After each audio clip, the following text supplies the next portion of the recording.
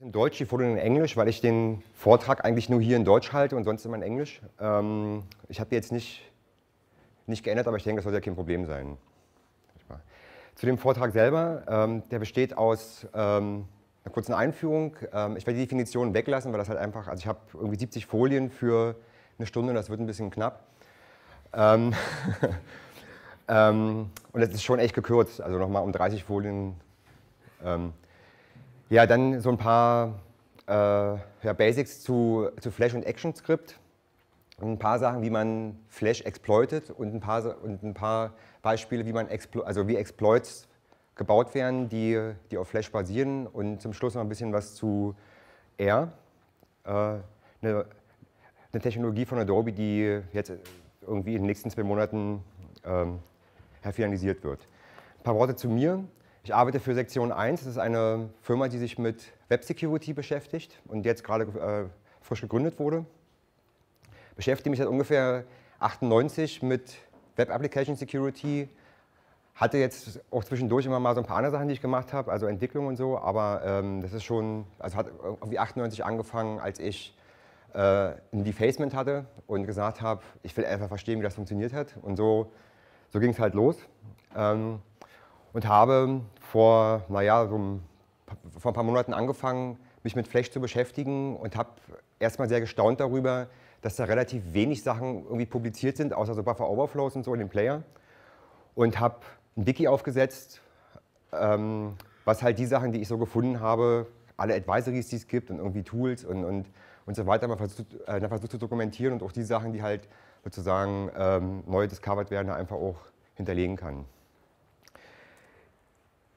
Meine Motivation für den äh, Talk war, wie ich schon gerade gesagt habe, dass es halt irgendwie außer Flash is Evil eigentlich relativ wenig Wissen in der Security-Community äh, darüber gibt, was Flash eigentlich kann und wie böse es äh, sein kann, wenn, man, äh, wenn es falsch programmiert wird.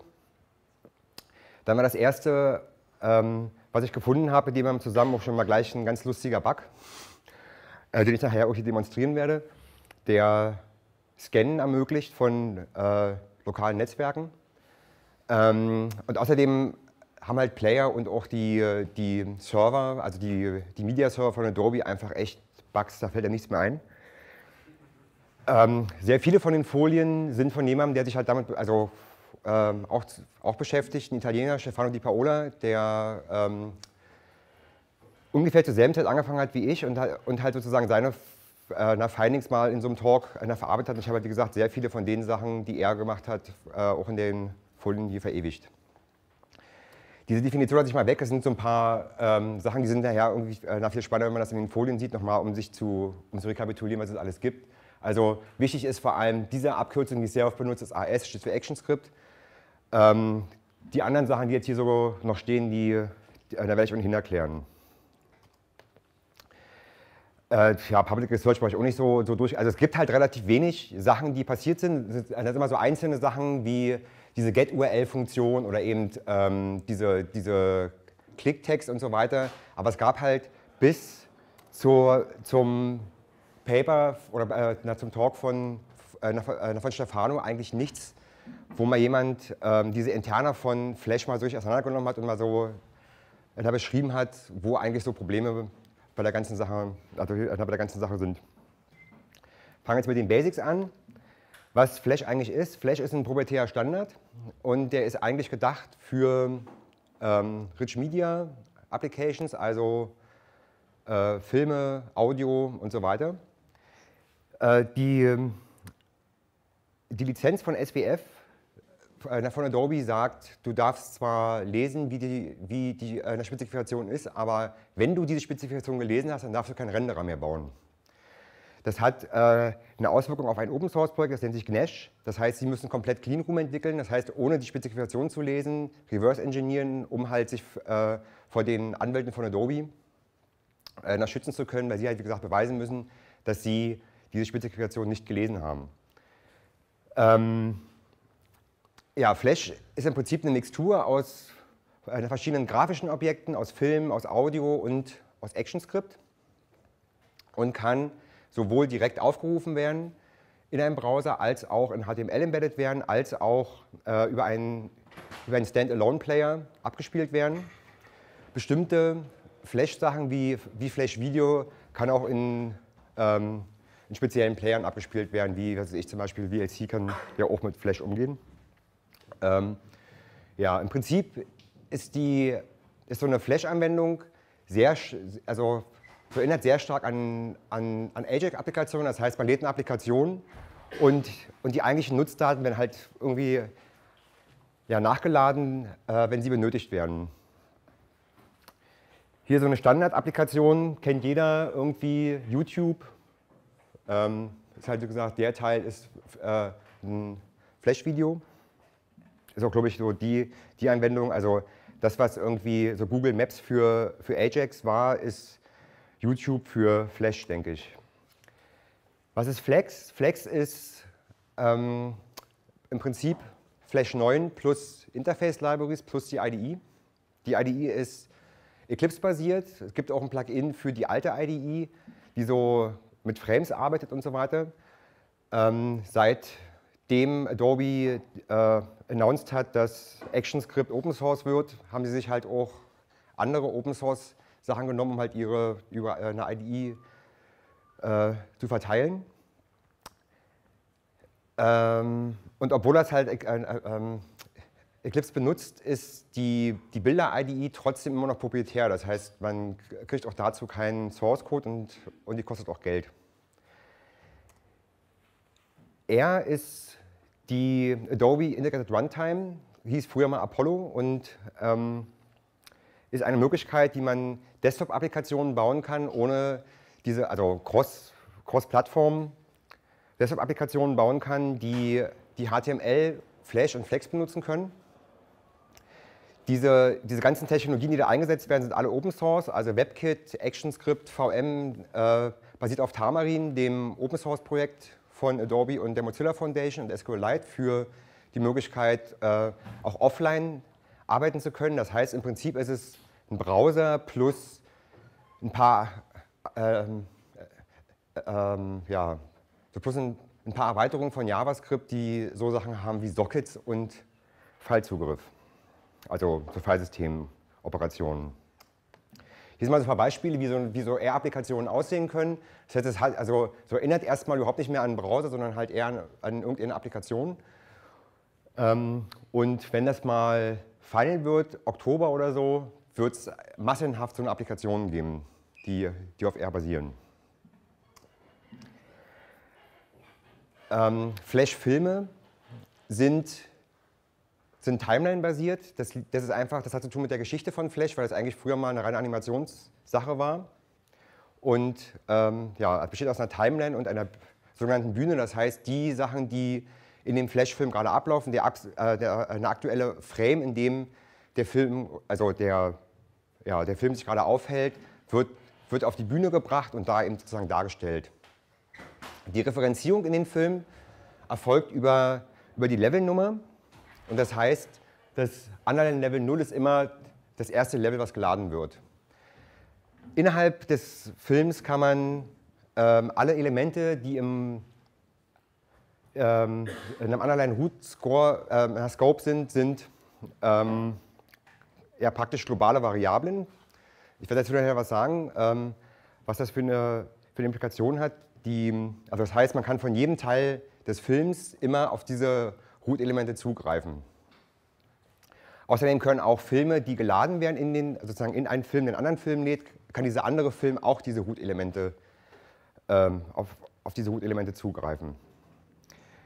Die, die generellen Möglichkeiten, die, ähm, die, die Flash so hat, Flash kann HTTP-Requests und auch Binary-Requests machen, also äh, zum Beispiel dieses RMF. Mhm. Kann andere Filme laden und ausführen. Der, äh, der Player ist in der Lage, nativ äh, eine ganze Reihe an Audio- und Videoformaten ähm, zu lesen, unter anderem zukünftig auch H264 und AAC. Und man kann außerdem JavaScript ausführen, wenn der Browser über den, äh, also wenn sozusagen der Film über den Browser ausgeführt wird. Kurz zu dem, wie der Interpreter funktioniert. Das heißt, also, wenn ich ihn auf einer HTML-Seite habe, ich habe die Seite, äh, über das über das Live Connect Interface ähm, wird mit dem Bytecode-Interpreter gesprochen und sozusagen darunter liegt halt der, der eigentliche Bytecode, der, der die ähm, sozusagen eigentliche Applikation ist. ActionScript ist eine ähm, Skriptsprache, die auf ECMA basiert und ActionScript 3 soll komplett sozusagen, ähm, also sozusagen hundertprozentig ECMA-kompatibel sein. Ähm, wird im Moment vor allem benutzt für Flash-Applikationen. Mir ist auch echt keine andere Art und Weise bekannt, wo es benutzt wird oder halt für diese R-Geschichten. Und man kann ActionScript entweder zusammen mit, mit anderen Daten oder eben auch ActionScript alleine zu, zu SWF kompilieren. Früher war ActionScript, also ActionScript 1 hat nur so ein paar ganz rudimentär, also hat eigentlich nur die Fähigkeiten gehabt, ähm, Objekte zu animieren. Das ist mittlerweile anders, man kann mittlerweile eine ganze Menge mehr damit machen. Wie gesagt, in der, äh, in der Version 3 kamen kam Dockets dazu und so. Jetzt ist das ähm, äh, also ein, ein, ziemlicher Move. Ja, und die Version 3 wird, wie ich schon gesagt habe, äh, Open Source werden. Oder ist schon Open Source. Was soll das heißen, dass es Open Source wird? Heißt das nur, dass es ein offener Standard sein wird oder wird auch von Adobe ein Open Source Compiler dafür entwickelt und eine Runtime und so weiter? Also der der Compiler, ähm, der Compiler selber ist, glaube ich, nicht Open Source, aber die VM ist Open Source. Also Tamarin ist eigentlich die VM, die das nachher ausführt. Ähm, in der Unterscheidung auch so security-mäßig, eine ActionScript Version 2 und Version 3 sind sehr wichtig, wenn man Flash auditieren will. Zum einen ähm, sind die meisten Applikationen immer noch irgendwie ActionScript 2, weil die meisten Designer von ihrer irgendwie IDE nicht weg wollen ähm, und die IDE äh, von Haus aus eigentlich nur ActionScript 2 macht und jetzt sozusagen die, ja, die letzten, äh, letzte Version, da braucht man halt ein Plugin, um das zu machen. Gibt auch für ActionScript 3 keinen vernünftigen, äh, also keinen äh, also keinen vernünftigen Decompiler bisher, sondern nur was, was man sich halt, äh, halt selbst zusammenbauen muss auf, auf Basis von Tamarin. Für ActionScript 2 gibt es halt sehr, sehr schöne Decompiler. Ähm, ja, und der Bytecode, der entsteht in der Version 2 und 3, ist halt äh, komplett unterschiedlich und, ähm, ja, und für ActionScript 2 auch noch nicht so ähm, mache, dass die Leute da irgendwas gebaut oder also irgendjemand irgendwas gebaut hat, mit dem man das richtig gut, gut dekompilieren kann. Dann ist es so, dass ähm, eine ganze Menge Security-Features und äh, Fähigkeiten dazugekommen sind, äh, beziehungsweise auch Sachen, die ähm, ja, äh, auch nötig sind, weil ähm, ActionScript 3 Sockets kann und äh, bei R auch JavaScript-Extensions für ein Filesystem-Access hat, äh, was natürlich sozusagen Security-mäßig erstmal äh, auch nicht ganz unproblematisch. Ja, und wenn man halt mal so ein bisschen rumspielen will mit, mit Flash und einfach mal so Flash dekompilieren will, dann kann man einfach hier gucken und sich mal Filme, also diese, diese in der Flash-Dateien runterziehen, die, die dekompilieren und einfach mal so ein bisschen damit rumspielen. Lernt man echt eine Menge. Das ActionScript, Sekunde. Das ActionScript Security Modell hat sich über die Jahre sehr verändert. Seit ähm, Flash Version 7 gibt es ähm, ein auch mehr oder weniger gutes Security Modell, was in der Same Origin Policy wie bei JavaScript enforced. Und zwar nicht nur für Filme, sondern auch für, für, für Sandboxing, sozusagen auf dem, auf dem Client-Host. Außerdem, um die Interaktion zwischen Browser und Movies, also im geladenen Film, zu klären. Weil man konnte früher externe Variablen, das heißt, man konnte also sozusagen von extern sich eine Variable holen, die man in, in, den, in den Film beim Laden ähm, sozusagen äh, ähm, ja, irgendwie ja, ein, einfügt oder so. Das geht mittlerweile nicht mehr. Und außerdem ähm, kann man mit diesem Security-Modell äh, auch alles, was mit Musik, Film, Textfeld und so weiter, also XML und so, ähm, damit klären. Shared Objects, das ist sowas ähnliches wie wie Cookies in einem Browser. Allerdings ähm, hat das ein paar ähm, Sachen, die auch security-mäßig sehr, sehr relevant sind. Das eine ist, dass es keine Expiration Dates gibt, das heißt, der löscht sich nicht von selbst. Bei bei Cookies gibt es ja sowas, äh, der ist halt irgendwie nur für die Sitzung gültig und, und, und. Sowas gibt es bei, äh, Shared Cookies, also bei Shared Objects grundsätzlich nicht. Dann ist es so, dass es ähm, cross-Browser funktioniert. Und da habe ich auch ein kleines Beispiel, um mal zu zeigen, wie das eigentlich gemeint ist. Also, ich nehme jetzt mal hier ein, ein Beispiel. Ups, ein Beispiel. Ähm, jetzt hier so ein, ups, ein bisschen klein, wo ich halt hier ein bisschen, ähm, also wo ich hier, hier irgendwie was eintrage, sage, das ist mein Shared Cookie. Ja. Das heißt, dieser Wert ist, wenn ich den hier lade, also die Datei hier lade in einem anderen Browser, funktioniert jetzt nicht super.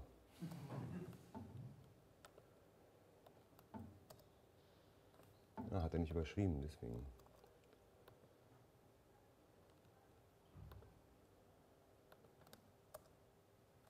Hä? Interessant.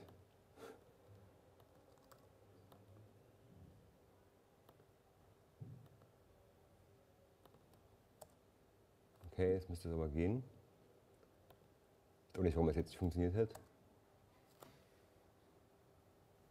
Klasse. Macht er nicht. Also, das klappt normalerweise. Das sollen wir dir jetzt glauben. Ja, das müsst ihr mir glauben. Ja, okay. Also, das also es ist tatsächlich so, dass sozusagen, ich kann in dem einen, Browser, also in dem einen Browser, also warum ist das relevant?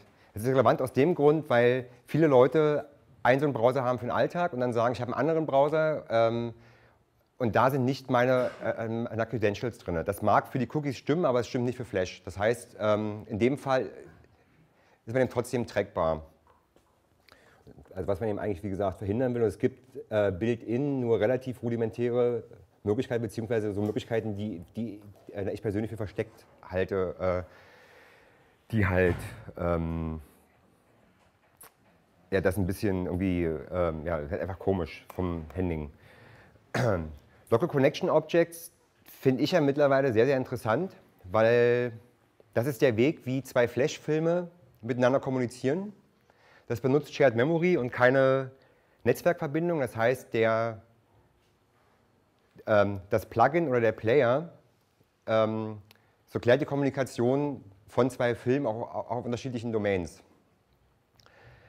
Ähm, die, also wie das sozusagen konkret in den, in den einzelnen Betriebssystemen äh, äh, implementiert ist, ist sehr, sehr unterschiedlich.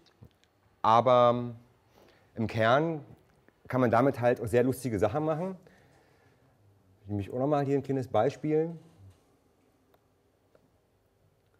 Ähm, wo haben wir es?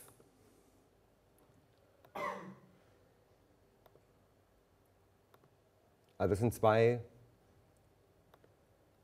Filme. Hier zeige ich nochmal, das ist also sozusagen zwei, zwei Domains, die ich da habe, Test 1, Test 2, und kann von dem einen, ähm, also von der einen Domain auf was anderes was schicken. Jetzt kann ich auch gleich nochmal so einen Teil, den ich persönlich sehr lustig finde. Das ist, ein, ups, das ist ein Textfeld, was HTML kann. Das auf dieser Seite.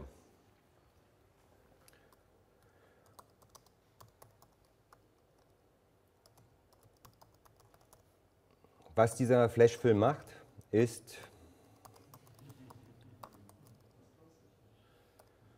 und jetzt, finde das, wie gesagt, das ist für mich einer der obskursten Security-Probleme, die ich so kenne. Ähm das heißt, ähm, Flash nimmt den Inhalt von diesem äh, Image, prüft, ob da hinten ähm, eine Extension ist, die es als Film oder als Bild ähm, irgendwie so erkennt. Und wenn, ja, und wenn das der Fall ist, dann wird das als JavaScript ausgeführt. In dem Fall wird es an den Browser übergehen über die Live-Connection-Stelle, aber ich finde das schon echt einen ziemlich obskuren Bug, ehrlich gesagt. Also in meinem ähm, Debug-Player, den ich habe, kommt auch eine Meldung dazu, aber das ist ähm, eben eine, die ähm, eben aus dem Grund kommt, weil er halt diese URL nicht richtig verarbeiten kann. Aber in den normalen Playern passiert sowas nicht. Da wird eben einfach das JavaScript, und das, der Lustige ist ja auch, es wird erst das JavaScript ausgeführt und dann gibt es diesen IO-Error. Ähm, per Default läuft das halt nur auf derselben Domain, aber man kann eben mit so einer Allow-Domain Stern das praktisch von allen Domains zulassen. Local Connections sind total spannend, wenn man sowas bauen will wie äh, eine Angriffs-Backchannels ähm, in Flash statt in JavaScript, weil man damit eben sogar, äh, also praktisch die komplette Kommunikation zwischen äh, zwei und mehr Filmen einfach klären kann und auch sozusagen in die Sandboxes einbrechen kann. Es gibt, wie ich schon gesagt habe, mehrere Möglichkeiten, Flash zu embedden. Eine Möglichkeit ist, ähm, einen Flash-Film einfach direkt aufzurufen in einem, in einem Browserfenster. Die andere Möglichkeit ist über ein Embed oder Object Tag ähm, die Sachen einzubinden oder halt über ein iFrame. In dem Fall, also Firefox zum Beispiel generiert automatisch eine Seite um den, um den Flash-Film, wenn man den direkt aufruft.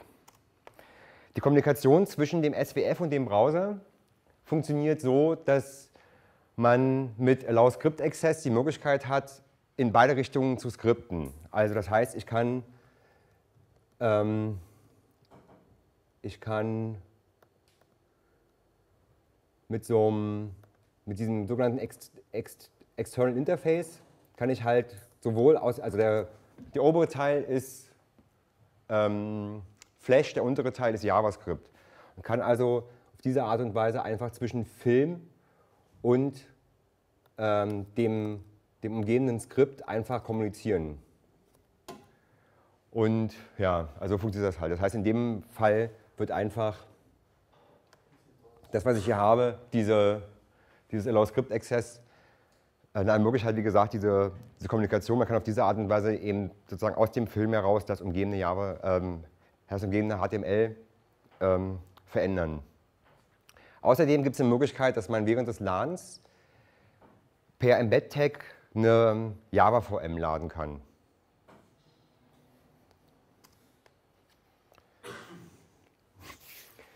Das Variablenhandling von Flash ähm, sieht so aus, dass es während, der, also während des Kompilierens gibt es Type-Checks und während der Ausführung nur noch Typecasts.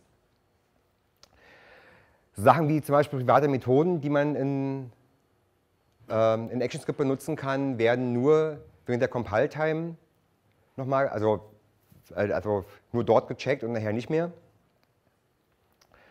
Und was meiner Meinung nach eben auch ganz interessant ist für äh, JavaScript-Entwickler und so, dass es halt genauso funktioniert mit diesem Proto, Parent, Prototype und so weiter wie bei JavaScript. Also zum Entwickeln halt sehr, sehr, also, also wenn man sozusagen JavaScript entwickelt, dann ist ActionScript einfach total leicht. Das ist irgendwie praktisch eine sehr ähnliche Möglichkeit.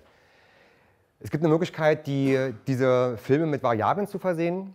Und zwar gibt es da mehrere Möglichkeiten. Das eine ist, dass man äh, beim Embed einfach Variablen mitgibt und sagt, eine Variable foo gleich bar und so weiter. Oder man kann das halt auch aufrufen direkt mit get-Argumenten oder halt innerhalb eines Films äh, mit diesem load var einfach auch Variablen hinzufügen.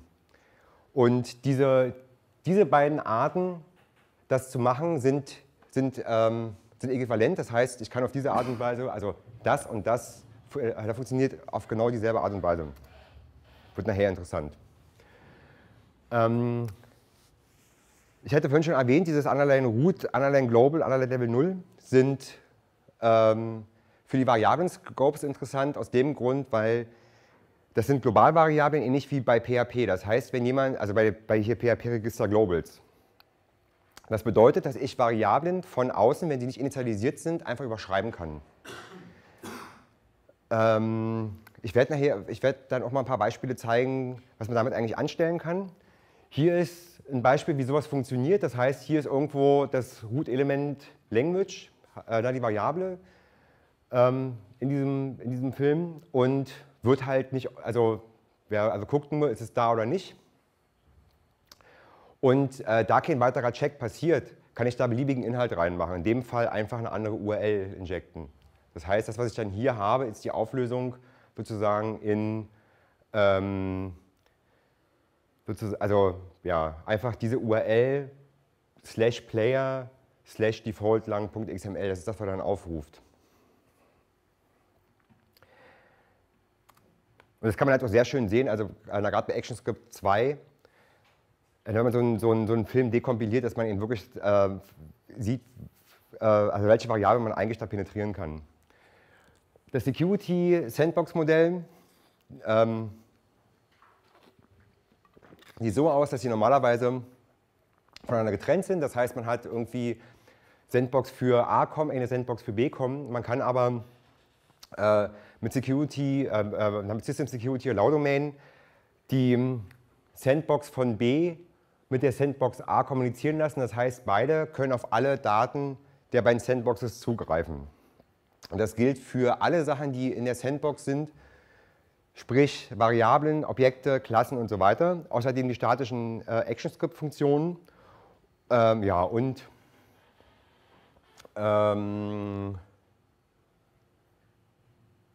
auch zu allen anderen Objekten, zu denen diese Sandbox Zugriff hat. Das heißt, wenn diese Sandbox auch anderen, äh, noch andere Möglichkeiten hat zuzugreifen, also eine weitere Sandbox, dann hat B automatisch auch den Zugriff auf äh, alle Sachen, die äh, auf die A Zugriff hat.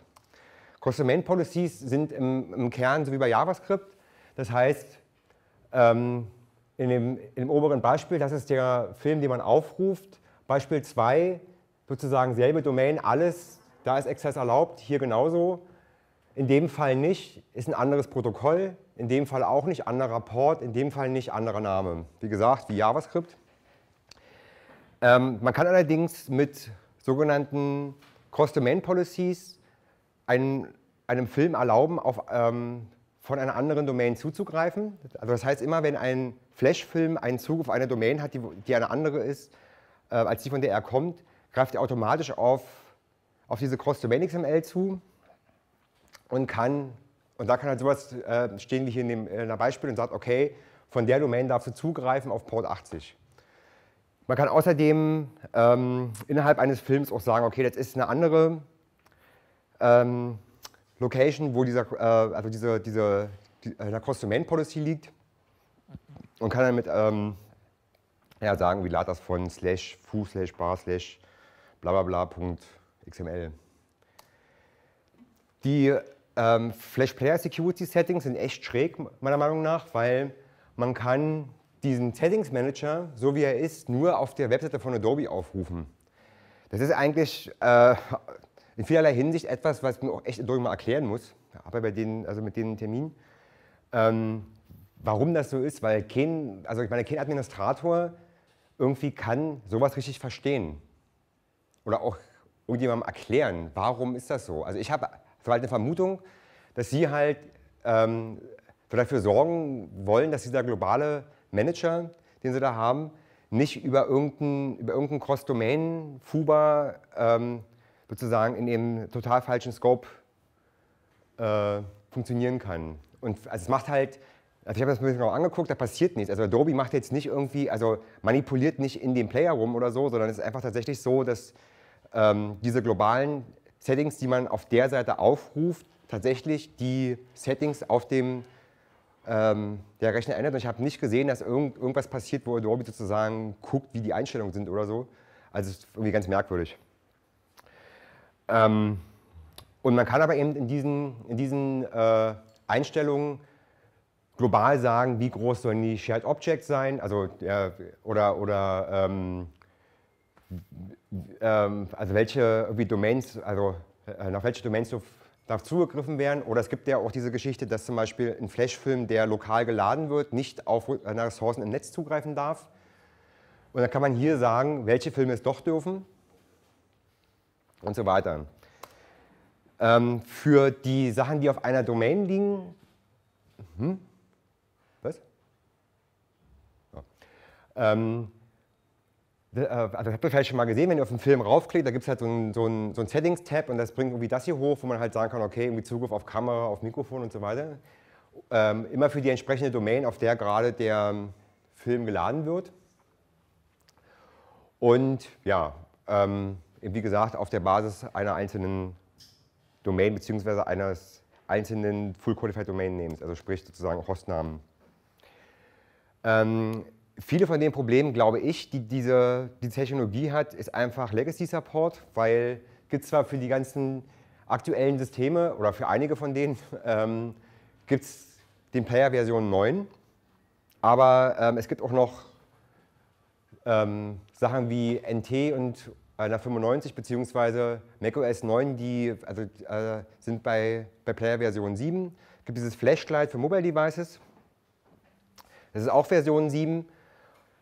Ähm, Pocket PC auch und diese Geschichten für die PSP sind, das ist echt ein, das ist ein Albtraum. Also wenn man sich das anguckt aus Security-Sicht, man kann damit tatsächlich irgendwie seine PSP routen, habe ich festgestellt. Weil ähm, äh, die ganzen Buffer-Overflows, die es gibt für diesen äh, 6er Player, die, die gehen da halt. So. Man muss halt nur den entsprechenden Shellcode sich selber bauen. Das wäre jetzt erstmal zu den Security Basics. Gibt es dazu erstmal eine Frage? Okay. Ähm, Flash Exploitation beziehungsweise Exploits, die äh, Flash benutzen. Kleinzeitige Angriffe sind ja einige möglich, wie wir schon auch gesehen haben. Ähm, das klassische XSS oder halt Geschichten, wie man eben Variablen überschreibt, in der, äh, was ich auch noch mal gleich zeige, wie das, wie das funktioniert und welche lustigen Sachen man das machen kann. Dann gibt es Cross-Site-Flashing, das heißt, ähm, ich kann ähm, andere Filme laden als, als gedacht. Und äh, wozu Flash auch sehr gerne eingesetzt wird, ist einfach für Request Forging. Das heißt, ähm, ich will einfach, dass ein User ähm, irgendwas submittet und kann sozusagen das in einen Flash-Film einbauen. Und äh, das passiert so, dass er es auch nicht mitkriegt. Außerdem kann man natürlich Flash für irgendwie Massenexploits einsetzen oder für Backdoors, ähm, was auf MySpace ziemlich häufig passiert. Ähm, und natürlich äh, gibt es immer wieder diese ganzen Buffer-Overflows. Also jetzt gerade wurde einer gefixt, der auch wirklich äh, nicht ohne ist, weil der überall funktioniert. Und äh, der Shellcode, den man braucht, auch, äh, also es gibt sozusagen diesen Exploit und alles, was da irgendwie dazugehört, äh, für Version unter 9.047.0. Und ähm, nach dem, was ich so sehe in meinen, in meinen äh, Logfiles, haben nur knapp 10% der Leute tatsächlich den aktuellen Player. Das heißt, ich würde mal sagen, dass und sehr viele Leute haben dieses Flash-Plugin äh, aktiviert. Ich würde mal sagen, dass ähm, irgendwie 50, 60 Prozent aller Leute einfach mal gegen diesen Buffer Overflow verwundbar sind. Außerdem, wenn man moderne Angriffe wie dieses DNS-Rebinding, was heißt modern, ähm, aber äh, dieses DNS-Rebinding benutzt, kann man halt eine ganze Menge sehr, sehr schmutziges Zeug machen. Da habe ich nachher auch ein paar Beispiele oder ein, oder ein sozusagen klassisches Beispiel. Ähm, also, ja, wisst von euch jemand nicht, was DNS-Rebinding ist? Okay. Und zwar ist die Idee, äh, bei Browsern zum Beispiel, da nennt sich das DNS-Pinning, ist das so, beim ersten Zugriff äh, des Browsers auf eine Domain macht er ein GetHostByName und kriegt zu dem Namen, den er aufruft, eine IP. Den pinnt er sozusagen für die, für die Dauer der Session in den Browser. Ähm, wenn der Host, den man erreichen will, beim nächsten Zugriff nicht mehr da oder überhaupt bei, bei den nächsten Zugriffen nicht mehr unter der Adresse und unter dem Port erreichbar ist, macht er wieder diesen Get Host by Name und kriegt dann eben die entsprechende neue IP. Ist wichtig für Sachen wie zum Beispiel Google oder so. Ähm, hat aber eben auch für Angreifer die Möglichkeit, also er bietet die Möglichkeit, dass er dann bei diesem anderen Zugriff, den er macht, eine lokale IP zurückgibt. Ähm, und das Problem ähm, ist, dass DNS in vielen, vielen Fällen, sowohl bei JavaScript als auch bei Flash, praktisch für der Security benutzt wird, für die DNS niemals gedacht war. Das heißt, diese ganzen Cross-Domain-Policy-Files und so weiter beziehen sich auf Namen. Und diese Namen kann man sehr, sehr einfach mit praktisch beliebigen IPs versehen. Wenn man nicht einen Netzwerk-Admin hat, der weiß, was er da tut und sozusagen sagt, wenn ein Request von außen kommt und dir eine IP gibt von einer lokalen Netz, dann bitte werft das weg. Da äh, zeigt er noch so ein, so ein Angriff, wie das funktioniert. Ähm, eine Funktion, die, die bei ActionScript 2 funktioniert, oder äh, die bei ähm, ActionScript 2 existiert, heißt getURL. Das ist praktisch einfach, ich habe eine URL und den Target Frame, in dem das passieren soll. Ein Target Frame meint in dem Fall äh, so wie bei irgendwie ähm, AHA, dass ich sage, irgendwie Target, anderes Fenster. Man kann aber äh, in, in, diesem Get-URL auch JavaScript unterbringen ähm, und kann aber eben auch, und das ist halt das Lustige, man kann ähm, auch eine DOM-Injection machen. Das heißt, was ich vorhin gezeigt habe mit dem JavaScript, das funktioniert auch so, dass man eben in, in den, ähm, also in das DOM des, des äh, also der, der entsprechenden Seite einfach ähm, Code initiieren kann. Das Cross-Domain-Flashing sieht so aus, dass man sagt, ähm, ich habe einen Film, der einen anderen Film lädt und habe dann äh, die, eine Möglichkeit, äh, äh, ähm, in dieser Sandbox Variablen zu setzen und Variablen zu lesen. Das Interessante ist, immer wieder, wenn bei Flash eine Kommunikation stattfindet, die nicht, also sozusagen zwischen Browser und, und, dem, und dem SWF, gibt es immer total seltsame irgendwie Effekte. Und in der Regel kann man dadurch Daten stehlen. Es gibt eine ganze Menge Beispiele. Wie gesagt, ich habe noch 30 Folien mehr eigentlich, ähm, wie man sowas eigentlich auch ausnutzen kann. Ähm, ja, und äh, wenn eben irgendwas da gebrochen wird, zum Beispiel halt diese, diese Domain Policy, dann passieren Sachen, die mit EMAL eben überhaupt nicht so, so gedacht sind. Die Werkzeuge, mit denen man eigentlich testet oder, also zum Teil sind die gar nicht gedacht, um jetzt wirklich Auditing zu machen oder ähm, so, sondern sind eigentlich mal gedacht gewesen, um einfach so einen Film zu dekompilieren und zu sagen, okay, ich will jetzt irgendwie mal gucken, wie er die Funktion gebaut hat oder so. Ähm, das ist dieses Flair. Flair äh, funktioniert nur für ActionScript 2 und ähm, gibt aber am Ende tatsächlich wieder ActionScript zurück. Das heißt, man kann dieses ActionScript auch wirklich lesen als ActionScript. MTask ist ein Compiler, der ist eigentlich für, ja, ist eben ein Compiler, der ähm, ActionScript 2 von der Kommandozeile aus äh, kompilieren kann. Flasm ist ein Disassembler, das heißt, der hat auch die ganzen Timelines und äh, alle Objekte, die sonst noch so sind, außer ähm, von dem ActionScript. Dieses SWF, ähm, SWF-Mill ist ein Konverter, wo man halt sozusagen XML und SWF ähm, konvertieren kann ineinander. So, und interessant für irgendwie Developer und auch für so Security-Leute ist auf jeden Fall die, äh, diese Debugger-Version von dem Flash-Player, weil der alle Sachen, ähm, alle Fehler, jede Sandbox-Violation und, und, ja, und so Traces und so einfach auf einer Kommando, also in, in, in, in File-Log, was man sich halt äh, auch angucken kann. Ja, was ich besonders liebe mittlerweile ist dieses Hex. Ähm, das ist ein Compiler, der sowohl Neko, was eine ähm, eigene Sprache ist, als auch JavaScript, als auch ActionScript kompilieren kann. Ähm, der benutzt zurzeit noch, glaube ich, glaube ich, ähm, ähm, Flex, ähm, wird aber irgendwann verschwinden. Also es wird irgendwann total standalone sein. Und äh, das ist insofern ganz schick, weil man damit eben tatsächlich irgendwie so Applikationen bauen kann, die ähm, komplett ohne, ohne das ganze irgendwie Adobe-Zeug auskommen und man eben sozusagen alles auf einmal hat. Also sowohl das ActionScript als auch die serverseitige Geschichte. Also das Neko ist halt eigentlich für die ganzen serverseitigen Sachen und äh, die ActionScript-Geschichten für, für den Client. Hier sind ein paar Beispiele, wie man wie man die Sachen so aufruft. Dieses Flair ist halt No-Brainer, einfach aufrufen äh, mit der Datei. Dieses Kompilieren, da kann man ähm, die Version mitgeben, was auch sehr spannend ist und auch sehr wichtig teilweise. Ähm, interessant ist noch, wie man Backdoors zusammenbaut. Das heißt, man nimmt eine Datei, nimmt eine andere und, wirft, also, und schiebt beide zusammen. Damit kann man zum Beispiel äh, eine Backdoor von den, von den Playern, also von Videoplayern machen ähm, ja. Das seht ihr dann in den Folien. Genau. Ähm, AS-Function, das ist eine Möglichkeit, wie man aus einem Flash-Film heraus auf ActionScript-Funktionen zugreifen kann. Die Idee ist, ich habe halt irgendwie ein, ein HTML-Feld und sage, wenn jemand hier raufklickt, dann soll sozusagen diese Funktion ausgeführt werden. Das Ding ist ähm, ja, im praktischen Pseudo-Protokoll, weil tatsächlich ähm, also weil es eben wie ein, wie, ein, wie, ein, wie ein Link funktioniert.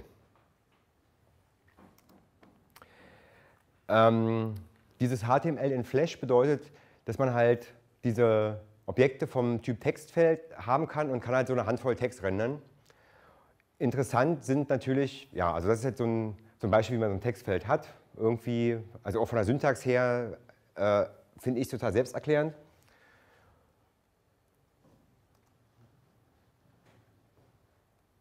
Genau. Ähm, hier haben wir jetzt mal ein Beispiel von so einem HTML-Text, der ähm, diesen Button-Text äh, zulassen würde über eine Manipulation der, äh, der URL. Das heißt, man kann in diesem Fall ähm, HTML-Code initiieren. Also, diese, also von den ganzen Texten eigentlich am interessantesten ähm, Ahrefs und, und, und Image-Tags, weil das sind die einzigen, die man tatsächlich mit URLs versehen kann, äh, mit denen man was anfangen kann. Die Beispiele, wie man es benutzen kann, ist zum Beispiel, wie gesagt, man kann halt ein JavaScript machen, man kann aber auch eine, diese AS-Funktion benutzen. Oder man kann, ja, also das ist sozusagen immer mit einer normalen ähm, ActionScript-Funktion, hier mit so, einer, so einer Public-Function und hier, man kann natürlich auch native Funktionen benutzen, sowas wie ahref Action, ähm, AS-Function, System Security Allow Domain und dann die Domainnamen. Interessant bei den Image-Tags, ähm, in dem Fall, den wir gerade hatten, der, da ist der Film Version 8, der, der sozusagen dieses SWF laden soll. Ähm, seit Version 8 gibt es aber eine Violation, weil er sagt, hallo, ich bin hier ein anderer Host. Jetzt kann man aber diese Geschichte so machen, dass man sagt, ich kompiliere mit Version 7. Und wenn ich den mit Version 7 kompiliere, dann funktioniert das. Warum ist das so? Ich habe da auch lange darüber nachgedacht. Also ich, ich bin der Meinung, dass der Hauptgrund ähm, eben dieser, dieser Legacy Support ist, dass sie zum Teil einfach ihre Security Policies downgraden müssen, damit die Leute Flash überhaupt benutzen können. Also damit einfach nicht die Applikationen brechen. Ähm, weil diese alten ähm, Flash-Anwendungen, die es zuhauf gibt, einfach mal äh, nicht mit Security in Mind irgendwie gebaut wurden. Und deswegen sind so eine Sachen halt möglich. Und da gibt es also noch ein paar andere Beispiele, wo diese Downgrades einfach passieren. Und das ist halt schon auch einfach schräg. So. Wenn man halt äh, in, in, Flash so ein bisschen rumguckt und rumpiekst und so, fallen einem eine Menge so eine komischen Sachen auf, wo sowas passiert einfach. Wo du sagst, huch, wieso ist das so? Ähm, wo bin ich jetzt gerade? Achso, genau. Das hatten wir schon, das Beispiel, was wir vorhin gesehen haben, dass man einfach hier eine Extension ranhängt und das wird ausgeführt. Und man kann das selber natürlich auch mit einer AS-Function machen. Ähm, Stefano Di Paola hat irgendwie die Abkürzung PNDF eingeführt, die ich irgendwie sehr nett finde. Das steht für Potentially Dangerous Native Functions. Das sind die Funktionen, äh, die man mit externen Variablen, also mit externen Inhalten versehen kann. Also diese Load Variables Geschichte oder Load Movie oder XML Load und so weiter. Also alles Sachen, wo eine URL ähm, getriggert wird, die irgendwie Daten beinhaltet, die man nachher weiterverarbeitet. In ActionScript 2 ähm, ist halt eher so eine Sache, dieses Load Movie, wenn zum Beispiel also hier in dem Fall diese M-URL wäre jetzt äh, ein, ein, ein Get-String in der URL, mit der der Film aufgeladen wird, ähm, mit der der Film ähm, her aufgerufen wird. Äh, also kann man zum Beispiel so Sachen machen wie, hier machen wir eine AS-Function get URL JavaScript bla bla bla und das wird eben tatsächlich so, also wird dann so ausgeführt. Das heißt, der Teil wird einfach weg, also der wird überhaupt nicht benutzt, aber der Teil wird sozusagen äh, einfach so ausgeführt, wie man, wie es hat. Das ist auch sozusagen die, die Syntax get URL JavaScript Alert, wenn man das mit der AS-Function macht. Und alle äh, äh von diesen PNEF, die ich vorhin gezeigt habe, ähm, erlauben diese, diese AS-Funktionen, die man halt aufrufen kann. Mm, diese ganzen Videoplayer-Geschichten, die es gibt, ähm, werden, werden über das NetStream Play, also über das NetStream-Objekt gehandelt. Und ähm, diese, dieses FLV hat eine ganze Menge irgendwie an Metadaten. Die Metadaten äh, sind selber AMF, was für ActionScript Message Format steht. Das ist was, also überall, wo irgendwie Daten hin und her gesendet werden bei Adobe, also bei, bei diesem äh, Adobe-Produkt, wird halt äh, AMF benutzt. Ganz hässliches Binärformat, finde ich. Ja, und, die, und diese Metadaten sind halt so Höhe, Breite, Größe, Datenrate und so weiter. Gibt für diese ähm, Metadatengeschichten Editoren, die meisten davon sind Open Source, außer der, der ist nicht Open Source, aber die anderen vier sind es und der ist noch nicht so ganz fertig. Ähm, man kann aber in diese Metadaten Daten initiieren. Das heißt, wenn ich so einen Film lade, dann gibt es diesen Metadata-Event und der passt die Metadaten in einer Art und Weise, dass man die auf der Seite darstellen kann oder irgendwo eben zeigt, wie das Ding heißt und so weiter. Also man kann sozusagen das in so einen, in so einen Editor laden und sagen, okay, irgendwie ist es vom Typ Nummer mit einem Namen und einem Wert versehen. Man kann sowohl den Typ ändern als auch den Wert und kann beim Laden auch wieder direkt ein Cross-Site-Scripting ausführen, wenn man das auf diese Art und Weise macht. Ähm, dasselbe gilt natürlich auch für MP3. Also irgendwie auch ähm, dieses, dieses On-ID3 macht, macht, praktisch exakt dasselbe. Ähm, XML-Load ist eine Funktion, mit der man äh, eigentlich Applikationsdaten in, eine, äh, in den Flash-Film lädt und sagt, okay, ich habe irgendwie äh, mein, meine ganzen Variablengeschichten in XML-Datei so definiert. Und manchmal wieder ein Beispiel dafür. Ähm, wo haben wir es?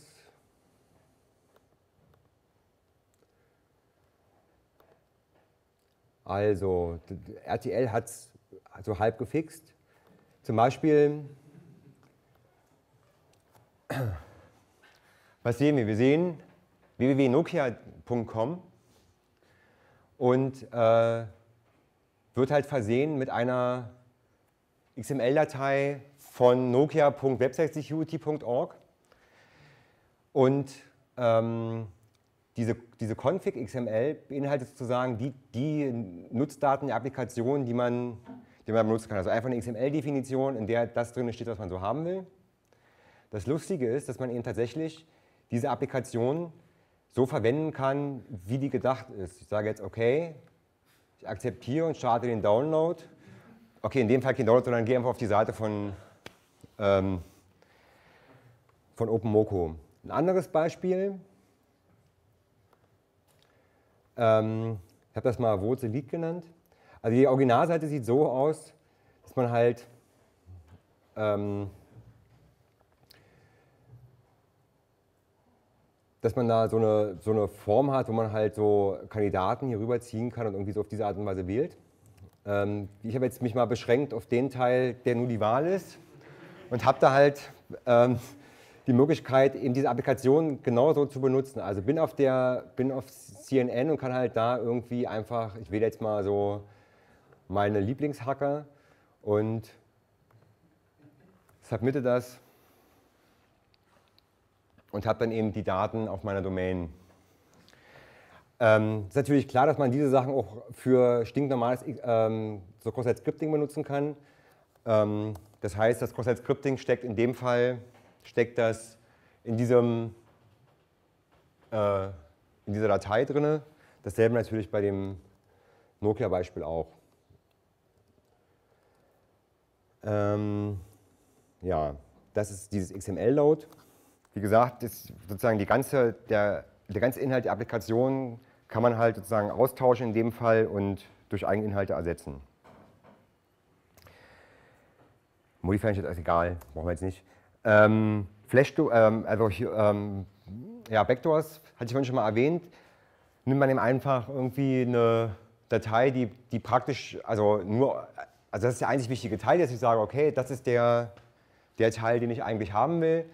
Ähm, also alles, was hier irgendwie mit irgendwie dem JavaScript zu tun hat und kann das so kompilieren, dass ich erst die Source von diesem Film kompiliere und danach mit diesem SWF-Combine einfach äh, äh, an an den anderen Film anhänge, beziehungsweise entweder davor packe oder einfach sage, ich ähm, will das in irgendeinen bestimmten Frame packen.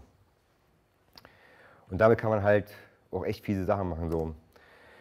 Ähm, Fortune habe ich vorhin schon mal erklärt. Was man machen kann, man kann halt sagen, okay, ich habe irgendwie Load Mask, kann halt irgendwie jetzt Request Header hinzufügen.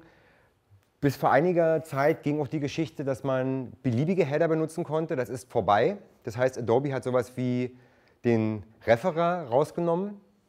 Allerdings kann man wie man hier schön sieht, einfach sagen, okay, dann mache ich es halt so. Geht halt auch. Hat allerdings äh, zum Teil den Effekt bei einigen Browsern, dass man immer zwei, zwei Referer hat. Ähm, Textchains habe ich vorhin auch schon so ein bisschen erzählt. Und zwar gibt es ja ähm, dieses Backframe und Bev, Beef besser gesagt, ähm, mit dem man, wenn man ein, ein Cross-Site-Scripting auf einer Domain hat, einfach Clients fernsteuern kann, weil JavaScript ja im, im Prinzip nicht mehr ist als eine äh, bequeme Möglichkeit, heißt Gott, eine bequeme Möglichkeit, ähm, ähm, einen Browser fernzusteuern. Und man kann natürlich irgendwie sowas auch in Flash bauen. Interessant ist, dass äh, man die Payloads halt in verschiedenen Sprachen haben kann, also in JavaScript, in ActionScript oder äh, also zwei oder drei. Und im Prinzip ist es halt ein, ein Client, also auf Client-Seite ein Loader, der einfach den, den Film lädt und auch seine Payloads. Auf der anderen Seite ein Control-Server, der sozusagen einfach zu den einzelnen Clients die Verbindung hält und entsprechenden, ja, also entsprechende Anweisungen gibt. Ähm, wir überlegen gerade, ob, man, ob es eine Möglichkeit gibt, in diese Shared Object selber wieder Flash zu packen, was natürlich echt sexy wäre, Self-Containing Flash. Kommen wir mal zu einer, wie ich finde, sehr spannenden Sache. Die Sockets in AS3 ähm, sind halt RAW-Sockets. also ich habe bisher noch keinen Weg gefunden, wie man da, äh, also damit auch auch ein Listening-Socket hinkriegt. Es sind, also man kann halt einen Connect machen damit. Und es gibt ein sehr schönes Beispiel, das ähm, Martin und, und Kanatoko entdeckt haben. Das ist sozusagen mal so ein Beispiel für so eine DNS-Rebinding-Attacke. Das heißt, ich habe jetzt hier irgendwie eine IP, die ich eingebe und sage, bitte scan mir die mal. Was passiert? Der erste Schritt ist, dass auf eine Seite geforwardet wird, die sozusagen mir die lokale IP zurückgibt. Also wenn ich jetzt diesen Hostnamen auflöse, mir angucke, ist das die 127001. Jetzt, ähm, Flash hat halt kein, ähm, kein Pinning, sondern ein Timer. Das heißt, nach 12 Sekunden fragt er äh, immer wieder nach. Das heißt, jetzt sieht man hier, sehr schön, habe halt hier irgendwie offene Ports. Port 8080 ist ein Proxy, Port 80 ist mein Webserver und man sieht halt hier auch schon, dass er in der Lage ist, die Daten auch tatsächlich zurückzuholen. Das, was ich hier sehe, ist mein Listing. Das Ding benutzt, wie gesagt, Rebinding. Das heißt, ähm, ich mache diesen Zugriff, kriege eine IP zurück, der scannt den und schickt das an ähm, irgendeine andere Geschichte. Es gibt ein, gibt ein weiteres Beispiel, was wir entdeckt haben. Ähm, vor allem David Neu. Und zwar ähm, gibt es seit ActionScript 3 ein sogenanntes Security Error Event. Die Idee dahinter ist, dass wenn man einfach nur einen IO-Error hat, nicht genau sagen kann, ob ein Socket nun zu ist oder der Server einfach nicht erreichbar. Dieser äh, äh, Security Error Event sorgt dafür, dass man sofort, wenn ein Port zu ist, die, die Nachricht kriegt, das Ding ist zu. Das heißt aber, es ist praktisch ein ein Side-Channel, den man hat, um rauszubekommen, ob denn ein Port offen ist oder nicht. Weil wenn ich sofort eine Antwort kriege, ist er zu. Okay, und was passiert, wenn er länger braucht? Dann scheint er offen zu sein. Dass das funktioniert, können wir hier, oder dann kann ich euch auch noch mal zeigen. Also ist natürlich bei weitem nicht so sophisticated wie ein Angriff mit DNS-Rebinding, ja, aber der braucht halt auch nicht so viel Infrastruktur, weil das Ding funktioniert halt einfach.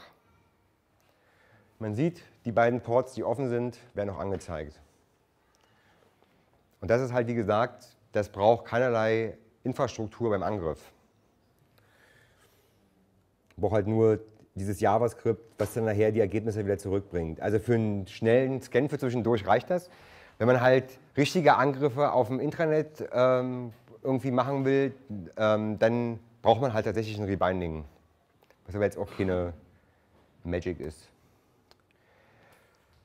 Noch ein paar Takte zu ähm, R. R ist halt noch nicht final. Das heißt, eine ganze Menge von den Sachen, die ich jetzt sage, äh, sind jetzt gerade sozusagen aktuell. aber es kann auch natürlich sein, dass sich das äh, zu, äh, einer, einer finalisierten, ähm, zu finalisierten Versionen ändert. Interessant ist wieder mal ähm, so eine typische All-or-None-Security. Das heißt, wenn man ähm, von Hause aus geht erstmal relativ wenig äh, so angriffstechnisch, aber andererseits, wenn man, wenn man dann erstmal irgendeinen Einstiegspunkt gefunden hat, ist sie sofort komplett weg. Also wenn das halt irgendwie ein, ein DNS-Rebinding ist oder, eine, oder ein Cross-Site-Scripting oder was auch immer, ähm, dadurch, dass es halt diese R-File, R-File-Stream, R-Socket-Funktionen gibt, kann man eben im Fall, wenn das eben dieser Browser, also es ist halt ein Browser, ja, äh, äh, wie ich vorhin gesagt habe, hat man tatsächlich eben eine Möglichkeit, auf, das, auf die Sandbox zuzugreifen, auf, den, ähm, auf die Platte zu schreiben, Sockets zu öffnen und so weiter. Außerdem, was ich sehr schräg finde, ist, dass man tatsächlich zur Laufzeit Files innerhalb der Runtime ändern kann. Man kann Zertifikate austauschen, man kann irgendwie den ganzen Inhalt halt so verändern, wie man das gerne ähm, haben will. Außerdem hat der AMF-Parser von dem Ding einen Bug. Habe bisher noch keine Zeit gehabt, da ein bisschen näher reinzugucken, aber irgendwas ist da kaputt. Ähm, und ich glaube, es ist wert, sich das äh, mal anzugucken. Hast du vorhin gesagt, es gibt irgendwie bisher nur einen sehr rudimentären Decompiler. Das ist halt einer, der auf der Basis von Tamarin existiert. Ähm, habe jetzt hier mal irgendwie so ein Beispiel, wo, also einfach so Print Hello World und das ist halt der Teil, der im Ausdruck geben wird. Das ist halt kein richtiges ähm, Action-Skript mehr, sondern einfach so Pseudocode. Aber zum, äh, zum Auditieren von Anwendungen reicht es. Wenn das jetzt alles ein bisschen scary war, so und zu sagen, okay, ich will trotzdem, ich brauche Flash, äh, aber habe die Möglichkeit, einen anderen Flash-Player einzusetzen. Eine Alternative wäre Gnesh. Das ist ähm, ein Player, der auf der Basis von GameSWF entwickelt wurde, hat äh, vollen Flash 7 Support minus die Bugs. Ähm, also minus ein paar der Bugs, ein paar Bugs hat er auch. Ähm, die sind aber dabei, gerade ähm, Version 9 Support zu machen und sind jetzt gerade in der Phase, wo sie sehr, sehr viel über Security nachdenken und habe halt auch mit Rob Savoy auf dem Camp darüber gesprochen, werde ihnen auch ein bisschen helfen, habe auch echt ein sehr großes Interesse daran, dass es ein, eine Open Source Variante von dem Ding gibt. Das ist, ähm, wie ich vorhin schon gesagt habe, Clean Room Design, das heißt, sie lesen selber die Specs von SWF, also von dem SWF nicht, sondern entwickeln die halt so, wie sie sozusagen ähm, die äh, SWFs, die ihnen begegnen, irgendwie parsen können. Und ähm, ja, ich bin halt sehr gespannt, auf was daraus wird. Also sie haben irgendwie eine ganze Menge ähm, Funding mittlerweile. Das heißt, äh, das könnte auch, wie, auch ein ganz nettes, also äh, ein ganz nettes Produkt werden am Ende. Damit bin ich auch schon durch praktisch. Ähm, ja, was man so erwarten kann in nächster Zeit, es gibt irgendwie äh, in, in, den Servern vor allem irgendwie RTMP Buffer Overflows und zwar richtig dreckige. So im, im, klassischen Sinne von wegen, so und so lang ist die irgendwie, jetzt folgen Daten, die sind so und so lang. Wenn, du, wenn man das ändert und irgendwie dann hinten sein Payload reinschreibt, dann wird das direkt ausgeführt. Ähm, da wundert mich, dass man sowas, also dass sowas nicht auch äh, die Ingenieure sofort sehen. Das ist mir halt echt zu hoch. Dann, ähm, woran ich auch gerade arbeite, ist ein, ist ein Proxy und Fuzzer für dieses AMF und äh, eine RTMP-Geraffel. Ähm, außerdem eben einen statischen, ähm, also eben für statische Codeanalyse von, von diesen Dingen. Das heißt, man, äh, man, dekompiliert die und guckt, was für Funktionen da drin sind und kann dann sagen, okay, das könnte exportbar sein. Dann ist es so, dass ähm, eine ganze Menge DNS-Rebinding-Angriffe ähm, Flash benutzen. Klar, man hat halt Sockets, anders als bei JavaScript. Das heißt, man hat halt sehr, sehr mächtige Möglichkeiten für, ähm, ja, eben für so Angriffs, ähm. Secu äh, also die Security-Wiki gibt es unter www.flashstack.org, wenn das interessiert. So, dann habe ich noch hier an die Folien äh, so ein paar Links und so rangehangen, drei Seiten. Da steht eigentlich so auch, auch ähm, alles an Sachen drin, die man irgendwie wissen muss. Eine Seite ausschließlich DNS-Rebinding, ähm, weil ich glaube, das ist halt schon auch ein ein Thema ist, was man einfach wissen sollte. Und ja, im Freenode gibt es einen Channel Flashstack, wer sich dafür interessiert, wer selber gucken will, Fragen hat oder so, kann da auch hinkommen. Okay, damit bin ich genau fertig geworden. Tata! Okay, gibt es noch irgendwelche Fragen? Du hast jetzt nur über Angriffe gegen den Client gesprochen, aber in so einem SCF-Fall stehen auch schon mal interessante Informationen für Angriffe gegen den Server, zum Beispiel diese ganzen Flash-Games, die den Highscore irgendwo in den Datenbank speichern.